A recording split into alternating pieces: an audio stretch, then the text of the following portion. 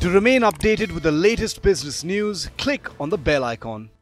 तो मैं अब भारत के कम से कम चार पाँच करोड़ भारतवासियों को करोड़पति बनाना चाहता हूँ पतंजलि और रुचि सोया से जोड़ करके This was last year September, when the Ruchi Soya public issue was still a pipe dream, still in queue for SEBI approval. But Baba Ramdev, the consummate salesman, would not stop hard selling the FPO to his yoga followers, promising to make them crorpatis, assuring he would take care of their financial health as well. जो पतंजलि में रुचि सोया में invest करेगा उसको करोड़पति होने से कोई नहीं रोक सकता ये मैं आज आपको सुबह सुबह गारंटी दे देता हूँ The Karorpati mantra did not go down too well with the capital markets regulator.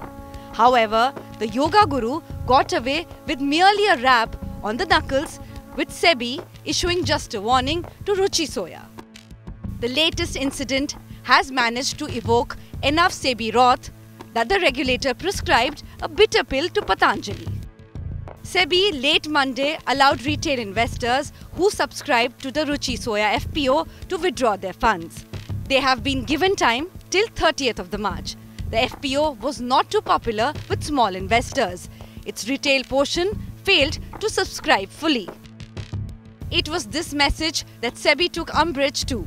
The regulator objected to the circulation of the unsolicited SMS advertising the issue. It was allegedly being sent to Patanjali Ayurved users, recommending that they invest in public issue. Meanwhile, Ruchi Soya has denied it was behind the messages and has filed an FIR to have the matter investigated.